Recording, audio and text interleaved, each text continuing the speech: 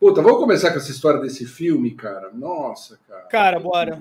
Que loucura, né, cara? Eu vou, eu vou botar aqui, adivinha da onde que eu vou colocar? Isso tinha que ser de Santa Catarina, né? O pessoal, o, a, a, a, os polícia não vê o filme. Essa mina aqui que tá falando, a, policial aqui, ou ela não sabe o que está acontecendo, ou ela é mal intencionada, né? Porque esse filme é uma campanha, é uma campanha de direita em cima do filme, como se tipo é basicamente aquela história de que eles vão proteger as crianças. Exato. É, esse, esse filme ele tá acendendo os debates mais preocupantes que a gente tem, né?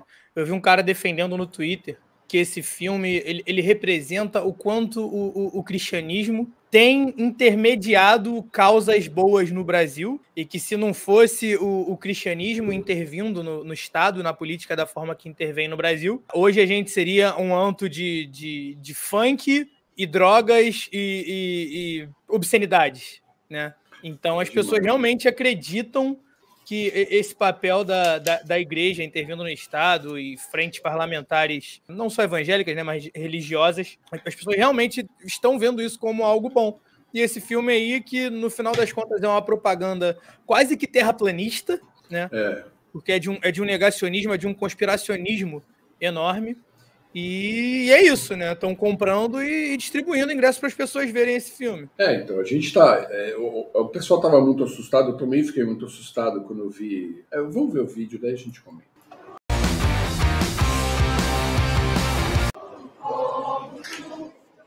Olha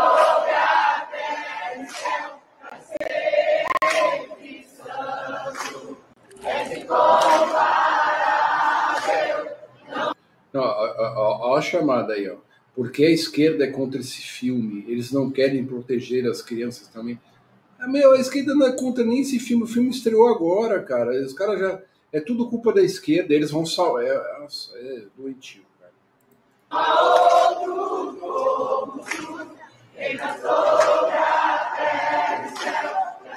As pessoas que estão hoje aqui no shopping Vila Romana, em Florianópolis, devem estar se perguntando o que, que tanto policial militar está fazendo reunido aqui no shopping. É que a Polícia Militar, em parceria com o Shopping Vila Romana, trouxe todos os policiais do curso de formação de sargentos para prestigiar a estreia do filme Som da Liberdade, que aborda o tema tráfico internacional de crianças, que tem total ligação com o serviço realizado pelo SOS Desaparecidos. Quer saber mais? Amanhã te conto. É, amanhã a gente não vai. Não vai é meio preocupante, contar. né, cara? Porque ele denuncia essa, esse grande esquema internacional de pedofilia e tráfico de crianças que não há a menor comprovação.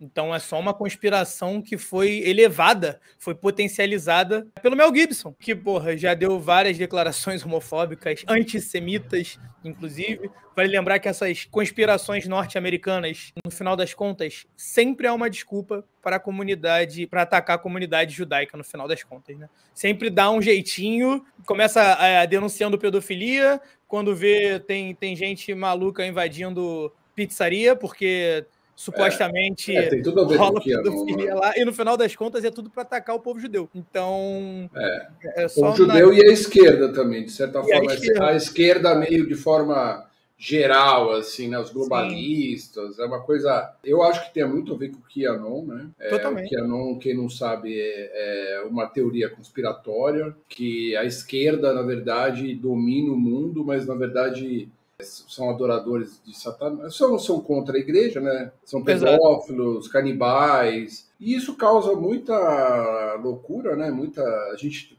aqui a gente fez um vídeo sobre Ana Priscila, que você viu o nível de loucura dela. Aliás, foi o vídeo até hoje mais viralizado aqui do, do na curva, a gente teve quase 4 mil views, e então é uma coisa também de interesse das pessoas para tentar entender. Eu acho assim que é manipulação da mais rasa e usando muitas redes sociais, né? Assim, você vê que. É... E não, e esse caso é mais maluco ainda. Nasceu nas tavam... redes sociais. Não, e os caras estavam dando. Eles, é, é, a maioria que está ali, ou talvez a, a totalidade das pessoas, ganharam ingresso entendeu? Sim. Ganharam o ingresso. Então, assim, você vê. E daí a pessoa vai, né? A pessoa tá, é, tipo, vai como se fosse um, um robozinho lá, porque o pastor falou, então tem toda essa rede entre pastores, hoje políticos e tudo, que manipulam Então a gente tem que ficar muito atento, né? Porque eles saíram do, do governo, a gente sabe, né? Que eles estavam lá encastelados no governo. Boa parte desses malucos aí que ficam atrás dessas teorias. E tem essa história que o Claudinho estava falando até da pizzaria, não sei o quê. É porque, na verdade,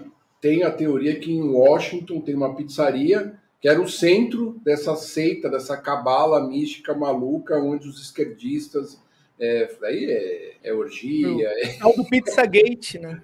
Pizza, é tipo, rola tudo, todo, todo o mal, né? Aquela história do Bolsonaro também que a gente falou semana passada, que o, a, é, a luta do bem contra o mal é, é, é um pouco, né? Tem muita relação com essa babaquice. O maluco uma vez entrou lá armado, teve tiroteio, e ele queria descer na pizzaria lá, porque. É, então você vai, vai criando toda essa. Não encontrou nada além do forno a lenha. É, então, mas já deu, já deu muito problema, né, cara? E aqui a gente fica importando essas maluquices. Só que assim, o, o filme tá aí, né? Estreou, é baseado na história desse cara aqui, ó. Para variar, o cara é acusado de, de abuso pelo, é, por mulheres, né? Vou colocar aqui a matéria. É a matéria do Correio do Povo, não é na Gazeta do Povo, é do Correio do Povo. Esse cara aqui, ó, esse loirinho, que ele tem uma ONG é, deve ser uma ONG de extrema direita, que liberta as crianças, não sei o quê. Só que agora o cara tá aí tipo, na imprensa, sendo conhecido, e daí vieram aí várias, várias denúncias de abuso sexual, de assédio sexual. Então, eu também estou repercutindo aqui, mas eu nem sei quem é esse cara, eu não sei que pita esse cara toca, mas não. Tem é... aqui um, um, resuminho dele. Tim Ballard. Tim Ballard. Aqui.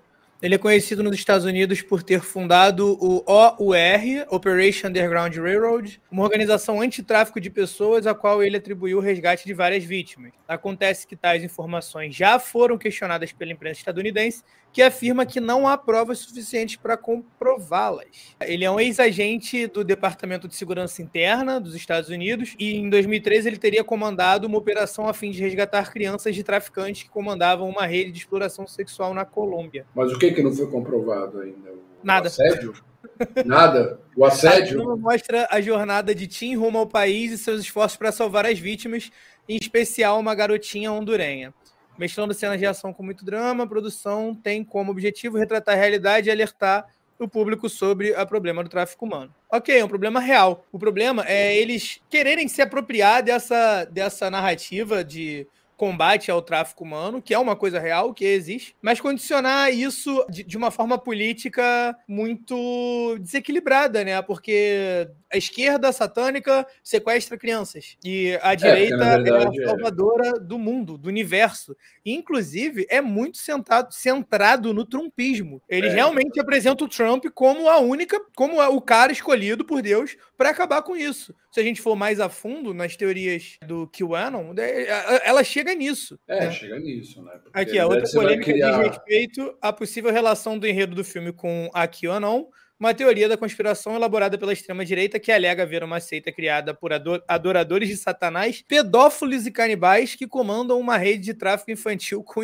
com o intuito de extraírem o hormônio que é produzido por meio da tortura das crianças.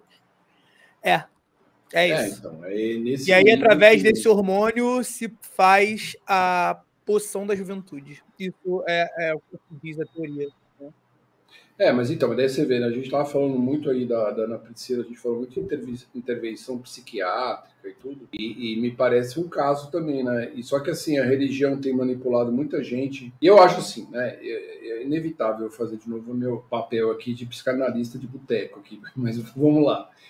Assim, me parece que é um tremendo desamparo emocional e existencial dessas pessoas também, né? De caírem nesse papo e, uhum. Imagine você entrar num shopping center, indo ao cinema e cantando um hino de louvor. A pessoa já, tá, já tem uma certa desconexão da realidade, né? Porque, ah, pô, você faz isso lá num ambiente controlado, entendeu? Que é a sua igreja, seu, seu templo, sei lá. Mas você vai no shopping center, vê um filme e entra no, cantando, você está louvando o quê? Um, um, um filme? O que, que você está fazendo? Você está então as pessoas fazem qualquer coisa, manda o idiota faz também, né? Tem isso também, né? A pessoa é manipulável a esse nível, como eles falam tanto que a gente é manipulado pelo Lula, por o quê. e a gente sempre fala, não, a gente tem aqui um espaço de, de crítica, um espaço de, de convivência para o debate e tudo. Eu até tento responder, até é, comentários ofensivos ali, meio tentando ver se o cara acorda para cuspir, entendeu? Mas a gente está vendo esse tipo de coisa acontecendo, né? E a gente não pode fechar os olhos, porque isso eu acho assim, é meio. Eles, assim, é engraçado. Eu estava ouvindo até o, o, o, Bruno Paes Manso, ele fala muito uma coisa que o Bruno Paes Manso, quem não sabe, é o cara que fez o, o livro República das Milícias. Ele deu uma, muita entrevista, entrevista muito boa para o Ilustríssima da, da Folha. E ele fala como é, essa igreja neopentecostal neopentec, vai, vamos falar assim. Tem muito essa coisa do tal do apocalipse, né? O mundo está caminhando para o fim, para o apocalipse, assim. Só que eles que estão causando o próprio apocalipse, né? Porque o cara entra no shopping center cantando. Tinha umas coisas no supermercado, lembra na eleição, Claudinho? Que os caras estavam no supermercado, de repente começava a cantar umas paradas meio loucas, assim, tipo um hino de louvor. Fazendo uns flash mob esquisito, né? É, uns flash mob, uns flash mob de pastoras. Eu passo lá, é. tô comprando aqui umas verduras, aí começa a cantar, traz uns 10, daí é uma loucura, cara. É uma coisa é, fundamentalista. A gente volta naquele, naquele papo de sempre, né? São, sei lá, parecem pessoas carentes que precisam desse senso de pertencimento do coletivo e, e é. acabam se prestando a isso. Eu não vou dizer, eu não, eu não me oponho, é, não sou contra manifestações religiosas. Quer, quer sair, quer cantar no espaço público, beleza. Não fazendo isso dentro de, sei lá, dentro da casa dos três poderes já é diferente, porque ali compromete é, a, a, o princípio do Estado laico. Mas, cara, se o pessoal da Umbanda fazer, fizer, ah, então, fizer, é isso, é. aceite, beleza? É. Beleza. Não vem falar que é o demônio, não vem falar que nada, não. É uma religião diferente da sua apenas. É, então. Tão bonita quanto, se você for, for, for romantizar, é, tão bonito quanto. Só não reclame quando outras religiões também fizerem. E nem tem, tipo, propor uma guerra. pra, é, pra mas ver... eles são intolerantes, cara, você acha? Exato. Tipo...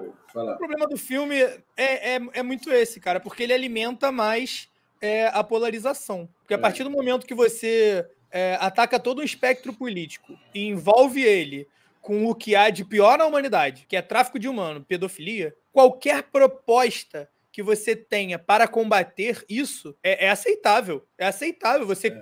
demonizou. Então, qualquer proposta que você quiser, que você propor, né, obviamente, é, ela é aceitável. Os caras são um satânico pedófilo. Tem que matar todo mundo. Ninguém vai falar que não. É, então, esse é. é, o problema. É, é, comprar a verdade do filme como se fosse nunca. Quando a própria imprensa é, estadunidense diz que não tem prova de nada disso. É, então.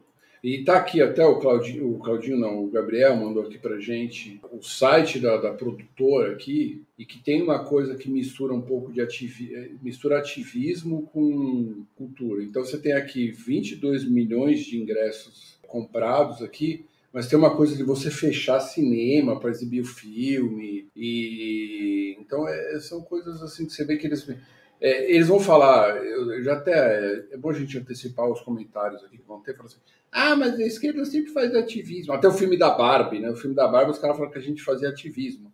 O filme da Barbie, cara, é muito engraçado, porque ela zoa até com essa, com, essa, com a paranoia antifeminista, entendeu? Uhum. Não é um filme ativista. Pô, o filme da Barbie não pode ser um filme ativista, é um filme engraçado. Eles pegam, pegam.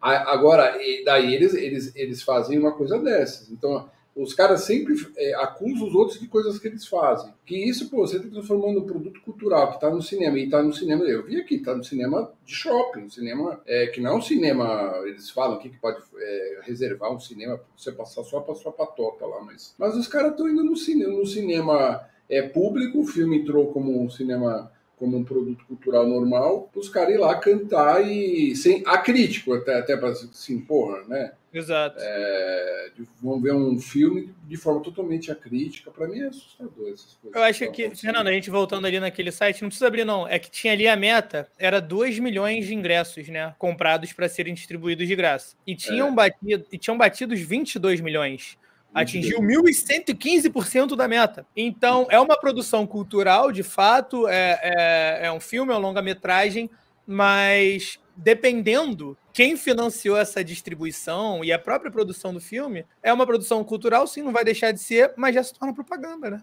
Ah, é, mas é. Mas é. Se torna propaganda. É, essas coisas me, me deixam muito muito tristes, assim, sabe? Essa coisa do, do desse fundamentalismo religioso, assim, a gente, eu não sei, né, cara, a gente é, acreditou tanto que a gente ia ter uma, uma sociedade mais, não digo evoluída, né, mas pelo menos mais diversa, mais inclusiva, e daí voltou esse, essa loucura fundamentalista, uma certa religiosidade. A religiosidade está até nas coisas assim como esses coaches malucos, esse pensamento mágico, é estúpido e, e meio. Eu, eu sou um cara, às vezes, até meio radical, às vezes já, algumas pessoas já se sentiram ofendidas quando eu falo de religião. Eu tento respeitar, mas tem um nível de, de, de, estupidez, de alienação em certas coisas que eu é, que sei lá, cara. E, a terapia e, resolveria, né? Só terapia e também a gente vai cada vez mais é, voltando para um passado que não existe, um passado glorioso. E, e tem essa coisa que eu estava falando também, esses neopentecs, é, vai, é, é, Apocalipse, a volta de Jesus, sempre fica esperando alguma coisa, assim, cara. Porra, vamos tentar viver a vida e, e, e, e distribuir amor aqui, né, cara? Não ficar falando essas merdas. agora, aí. né? Exato. É, ficar tipo preocupa, cara, porque eh, tu vai pular a fundo nessas, nessas teorias. Isso aí, para falar que Jorge Soros que está financiando é um pulo, Jorge Soros é judeu é outro, e pronto, a gente tem aí um, uma outra tentativa de, de, de holocausto, de perseguição a uma etnia por causa de desinformação. É, então. E, e as pessoas são. E o que, o que eu também fico, eu tô falando que eu fico triste, porque as pessoas.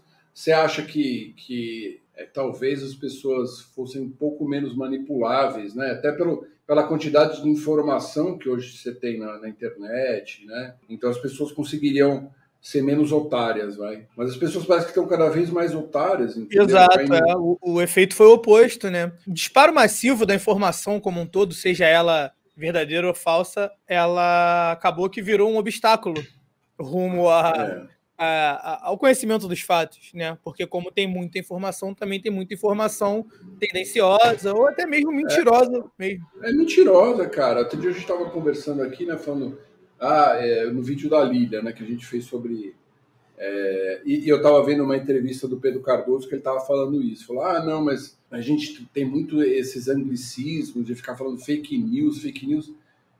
A tradução de fake news é mentira, cara. É mentira, não é fake news. Porque fake news é um nome bonito para uma distorção absurda de, de, um assunto, assim, entendeu?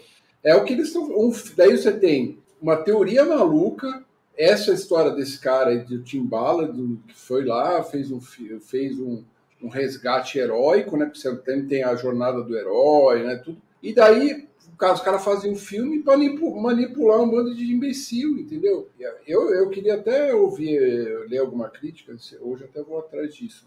Alguma crítica sobre o filme, se tem alguma qualidade artística nesse filme. Não parece que é difícil, né?